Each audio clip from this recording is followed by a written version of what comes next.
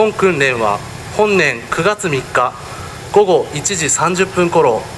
石狩市北部を震源とする震度6弱の地震が発生。住宅家屋の火災や損壊が生じ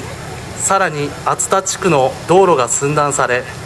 陸路が断たれたことから海上保安部の巡視艇により石狩消防署や北警察署等が救出救助に向かう想定となっております。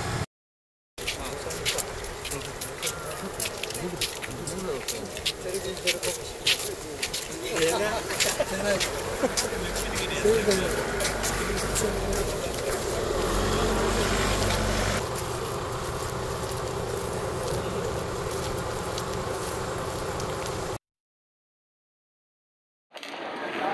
訓練199北907どうぞ北907秋田中大の移動になります先ほど発生した地震により秋田地区のえ家屋数棟が倒壊現在数軒の家屋からは火災が発生している状況そして至急応援のえ部隊をえ現地に派遣願いたいどうぞただいま出動してきた車両は熱田支所に配備されている熱田水槽隊です。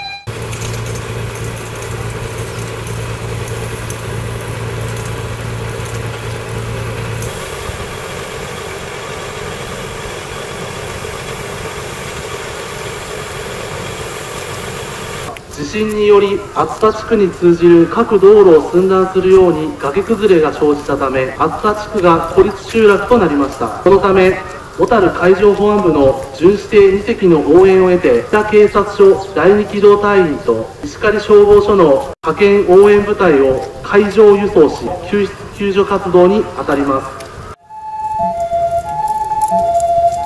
この車両は平成17年に配備された高規格救急車で救急救命士が乗車し医師の指示のもと除細動薬剤投与及び気管挿入などの救命措置を実施し病院搬送を行います。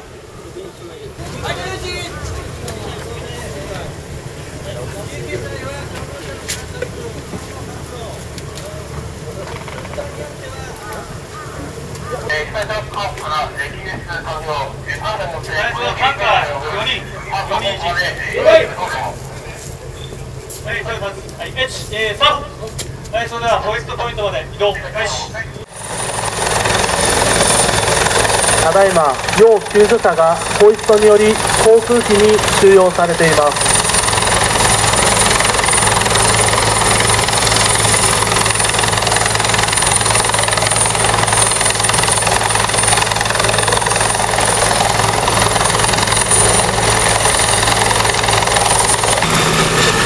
ただいま負傷者の収容が終了しました。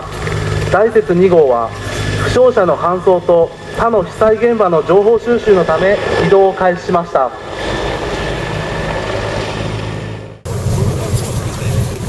すね、こちらの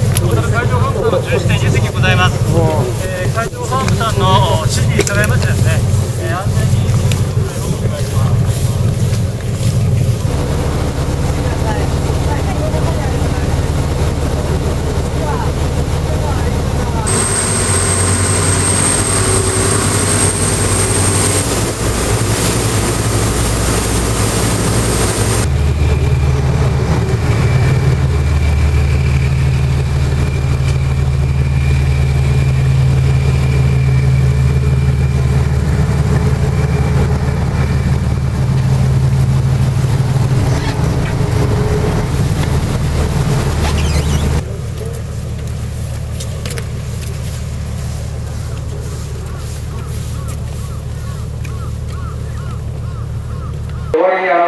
相当な訓練を準備なさいました石狩市及び担当者の方に、感謝をし、えー、カートでありますが、挨拶いたします。起動えなれ